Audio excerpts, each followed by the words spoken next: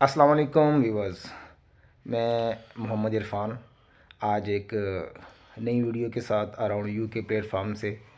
आपकी खिदमत में हाज़िर हैं। और आज की स्टोरी के लिए हमारे साथ मौजूद हैं हमारे बहुत ही प्यारे भाई, हमारे दोस्त हाफिज़ कमरुल हक साहब।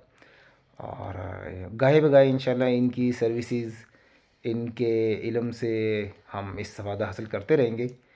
तो आज हम इनसे कोई बेहतरीन सा वाक़ सुनते हैं कि सबक मोज, जो भी, वो इन्हीं के ऊपर है, जैसे इन डिपेंड है इनके ऊपर कि ये जैसा भी हमें सुना दें, जो फ़नी है हमारे लिए जैसा भी हो ऑडियंस के लिए, आपके लिए, हमारे सब के लिए कोई फ़ायदा है, फिर भी ठीक है, कोई फ़नी है, वो भी हमें काबिल कबूल है।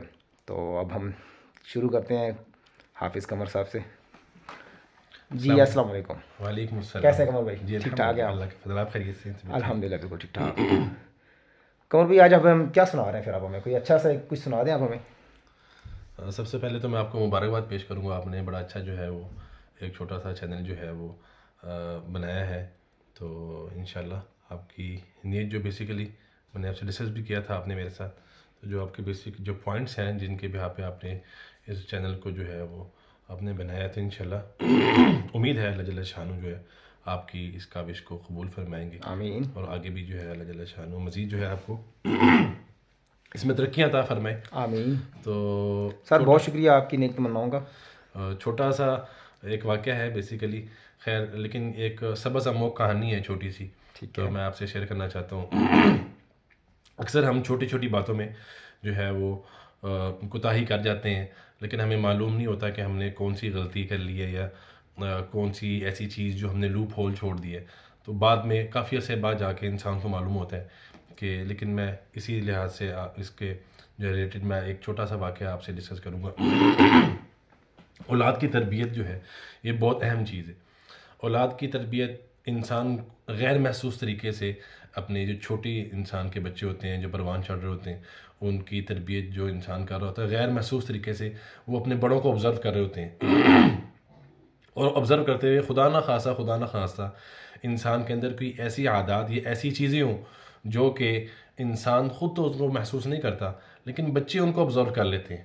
ऑब्ज़र्व करके फिर अपने बाप या अपने बड़ों की गैर मौजूदगी में उसको ट्राई करने की कोशिश करते हैं। वो कोई भी हो वो पॉजिटिव हो या नेगेटिव हो। ठीक है। तो एक छोटा सा वाक्य आप डिस्कस करता हूँ, मेरे एक दोस्त थे तो फ्रांस में उनका जाना हुआ। तो वहाँ पे एक कम्युनिटी थी, मुस्लिम कम्युनिटी थी फ्रांस में। सब लोग जो है वो इकट्ठे रहते थे। तो पहले भी दो तीन दफ़ा जा चुके, वहाँ पे गए थे। तो वहाँ पे गए तो जो बाकी फ्रेंड्स थे, उनके साथ मुलाकात हुई। तो कहा, यार, हमारे एक दोस्त है, मैं एग्जांपल ले रहा हूँ, उनका नाम नहीं लेता। कहा, हमारे एक दोस्त है, जावेद साहब यहाँ पे होते थे, वो इस दफ़ा उनसे मुलाकात नहीं हुई।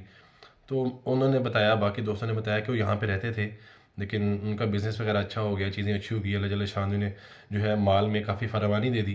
तो वो चाहते थे कि किसी अच्छे इलाके में मूव हो जाए। तो अगरचे वो मुस्लिम कम्युनिटी नहीं थी नॉन मुस्लिम कम्यूनिटी थी लेकिन वो एक स्टैंडर्ड का इलाका था। तो उन्होंने सब दोस्तों ने रिक्वेस्ट की जावेद साहब से कि सर हम आपसे रिक्वेस्ट करते हैं कि आप यहाँ से मूव ऑन ना हो। एक मुस्लिम कम्युनिटी है कम्युनिटी है हम यहाँ पर जो है वो जो है वो आपस में एक दूसरे के साथ सो मामला होते हैं जवेद साहब से रिक्वेस्ट की बाकी दोस्तों जवेद साहब से रिक्वेस्ट की बाकी दोस्तों ने ठीक है। कि आप यहाँ से ना जाएँ। एक हमारी कम्युनिटी है। कम्युनिटी में इंसान जो है खुदा ना खासा किसी भी चीज़ की ज़रूरत जो रिलीजियसली भी इस्लामिकली भी कोई भी नमाज़ वगैरह या सो मामला ईद वगैरह हमारी जो होती है हमारे त्यौहार होते हैं जो तो उनमें भी मुख्तलिफ़ किस्म की जो इंसान को ज़रूरियात होती हैं इंसान आपस में एक दूसरे से कंट्रीब्यूशन कर लेते हैं। तो कहा आप ना आप यहाँ से ना जाएँ तो शेख जावेद साहब शेख थे अच्छा। तो शेख साहब यहाँ से चले गए। खैर मैं शेख साहब उस कम्युनिटी मूव हो गए। मूवी में मूव हो गए। तो मैं सबसे पहले अपनी शेख बरादरी जो उनसे मैं माजर चाहूँगा। मैं नाम तो नहीं लेना चाह रहा था लेकिन खैर जो इससे एक रिलेटेड एक चीज़ है जिससे जो मैं डिस्कस करने आगे जा रहा हूँ। तो शेख साहब बेसिकली बिजनेसमैन थे पाकिस्तान से वहाँ पर मूव हुए थे। तो वो शेख साहब हर स्टेप पे अपने बच्चों को मतलब तरबियत करते थे, लेकिन उनको हर स्टेप पे बच्चों को सिखाते थे कि, बेटा, आपने किस तरीके से अपने दुनिया के जो अल्लाह जल्ल शाह ने इंसान को चीज़ें दी हैं या जो इंसान को मालो मालो दौलत दी है तो उनको किस तरीके से आपने जो है बचत करनी है? हर रुपये रुपये की बचत उनको सिखाते थे कि आपने ये, यहाँ पे भी ऐसे बचत करनी है, यहाँ पे ऐसे बचत करनी है। तो अक्सर वो बहुत सारे लतीफ़े भी हैं खैर वो तो लोगों ने लतीफ़े बनाए होते हैं लेकिन वो प्रैक्टिकली अपने बच्चों को पूरा सिखाते थे कि देखो बेटा ऐसे करना है ऐसे करना है ऐसे करना है यहाँ पे ज़्यादा पैसे खर्च नहीं करने। लेकिन एक तो एक हद तक होता है लेकिन वो हद से ज़्यादा बच्चों को बहुत ज़्यादा जो है वो यानी कि पैसे बनाने में बचाने में उनको ज़्यादा वो था। बहुत ज़्यादा क्रेज था उनको पैसे बचाने का। ठीक है। वो हर बातें बच्चों को सिखाते थे। तो अब वो बच्चे इन चीज़ों को ऑब्ज़र्व करते थे। खैर तो वो जो दोस्त हमारे यहाँ से पाकिस्तान से गए थे उन्होंने उनसे कहा कि यार कोई नहीं अब ईद का मौका है हम चलते हैं। तो वो जहाँ पर भी हैं, उनसे जाके मिलते हैं। उनको कॉल की, जवेद साहब को, जवेद साहब ने कॉल जो है वो अटेंड नहीं की। सर यहाँ से चले गए, उन्होंने कहा, चले यार, कोई नहीं, हम चलते हैं। जवेद साहब के घर पे एड्रेस उनके पास था। उनका जवेद साहब के घर पे जाते हैं, वहाँ जाके बैठेंगे, कोई उनसे जो है वो बातचीत करेंगे, कोई आपस में गपशप लगाएँगे। कोई थोड़ा सा हमारा सैर सपाटा भी हो जाएगा, फिर वापस आ जाएँगे। खैर, इतना दूर नहीं था। दो से तीन घंटे की मुसाफिर थी सबने जो है वो गाड़ियों में बैठे हो जो है वो चले गए। जब वहाँ पर पहुँचे वो जाके उनसे मुलाकात की। मुलाकात की, घर से दरवाज़ा खटकाया। तो उनका बेटा बाहर आया, कहा, बेटा, अपने बाबा को बुलाइए। तो बेटे ने कहा कि, सॉरी अंकल बाबा इस दुनिया में नहीं है, मौजूद नहीं है। उनका इंतकाल हो चुका है।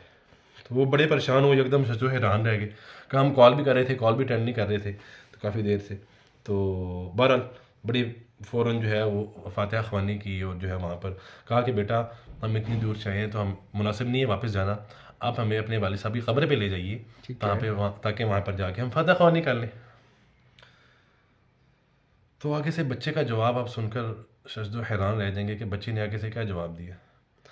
बच्चे ने कहा अंकल सॉरी बाबा की खबर नहीं है। तो बाकी साथियों ने पूछा कि क्यों बाबा की खबर क्यों नहीं है? बेटा क्या मसला है? खैरियत ही क्या हुआ उनका? तो जो एकदम जेन में आया कि खुदा ना खासा कहीं पे पता नहीं पाकिस्तान गए थे वहाँ पे जो है कहीं पे उनका इंतकाल हो गया या खुदा ना खासा सो मामला के रैश हाँ जब ये बात बना सुनता है तो सोचता है कि भाई कबर नहीं है तो वल्ला आलम के हादसा ना पेश आ गया हो कि हाँ, तो कहीं डॉट बड़ी मिली नहीं है क्या मसला है? अच्छा अच्छा। बिल्कुल उसी तरीके से।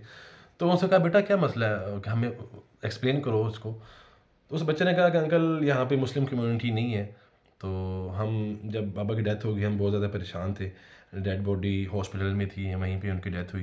तो कहता है कि मैंने जल्दी से गूगल पे सर्च किया। कि जो इंसान मर जाता है तो उसकी बॉडी को जो है, कैसे जो है वो, उसको जो है वो उसको जो है, या जो जो भी, जिस भी तरीके से उसको किस तरीके से ठिकाने लगाना, या मुख्तलिफ़ मज़ाहब में मुख्तलिफ़ जो है, या मुख्तलिफ़ कंट्रीज़ के मुख्तलिफ़ लॉज होते हैं। कहता है, मैंने जो गूगल पर सर्च किया तो उस पर मुझे तीन ऑप्शन मिली। एक तो ये था कि जिस तरह जो हम ज़मीन पे कब्र बनाते हैं उसमें उसको जो है मुर्दे को दफना देते हैं। मुस्लिम जो तरीका होता है एक वो था। और एक और था कि उसको हम समुद्र में कहीं पे भी है उस डेड बॉडी को हम बहा देंगे पानी में। और तीसरा ये था कि हम उसको आग लगा के उसको जो है वो ख़त्म कर देंगे उसका जो जो है वो बिल्कुल उसको आग लगा के ख़त्म कर देंगे जला के राख कर देंगे। तो कहते हैं मैंने देखा तो सबसे ज़्यादा जो रेट्स थे ना वो गूगल पर जो रेट्स शो हो रहे थे तो वो इंसान को दफनाने के बहुत ज़्यादा रेट्स जो हैं वो वो जगह प्लेस के काफ़ी ज़्यादा रेट्स थे। तो वो टू थाउज़ेंड मेरे ख्याल से शायद मुझे एग्जैक्ट अमाउंट नहीं आया टू थाउज़ेंड डॉलर उसने कहा उसके मुझे मिल रहे थे। और जो मैंने देखा कि फाइव हंड्रेड डॉलर सबसे कम जो रेट था ना वो लाश को जलाकर उसकी राख बनाने के थे। उसने कहा कि मैंने कहा कि मैं इतने पैसे फिफ्टीन हंड्रेड डॉलर में क्यों वेस्ट करूँ? तो मैंने पैसों की बचत की और जो है मैंने फाइव हंड्रेड डॉलर में अपने बाप की डेड बॉडी को जो है वो जलवा दिया और इसलिए उनकी खबर यहाँ पर मौजूद नहीं है। तो बहुत ज़्यादा अफसोस हुआ तो लेकिन बाद में सारे साथी फ़िक्रमंद भी हुए और जब गौर किया इस बात को तो सबने जो है इसका जो नतीजा निकाला, जो उसमें से अखज़ किया, वो यही था कि माँ बाप ने इंसान को जो दुनिया में बच्चों को सिखाया था, बच्चों की जो ट्रेनिंग की थी, जो बच्चों की ब्रेन वॉशिंग की थी, या बच्चों को जो करके सिखाते थे, आज मरने के बाद औलाद ने अपने माँ बाप के साथ भी वही किया। माशाल्लाह जी, आपने, हाफिज़ साहब, आपने जो हमें वाक़ सुनाया ये नो डाउट बहुत ही इसमें सबक भी है और काफ़ी गौर फ़िक्र करने वाली बात है कि हम अपनी औलाद को किस तरफ़ लेकर जा रहे हैं, कहाँ तक उनकी तरबियत हो रही है। तो बड़ी गौर फ़िक्र की बात है कि हम सोचें कि हम अपनी औलाद की तरबियत किस लेवल पे कर रहे हैं और हम उनका माइंड किस, के माइंड सेट हमने क्या बना दिया। सिर्फ़ पैसा पैसा बचाना कहाँ पे है, कहाँ से बचाना है, कैसे कमाना है, वो कोई भी तरीका हो। तो इसलिए भाई, इस पर एक बड़ी फ़िक्र अंगेज़ बात है ये। और इस पर सोचना चाहिए। ख़ास तौर पर हमारी मुस्लिम कम्यूनिटीज़ जो हमारी मुस्लिम बरदरी बाहर बैठी हुई है, उसके लिए एक बड़ा फ़िक्र अंगेज़ ये एक वाक़ था कि भाई ख़ास तौर पे अपनी औलाद की तरबियत पे बहुत ज़्यादा ध्यान दें। तो हमारा आज की ये स्टोरी और वाक़ ख़त्म होता है। तो इन मिलते हैं एक न्यू स्टोरी के साथ। ठीक है, अस्सलाम वालेकुम।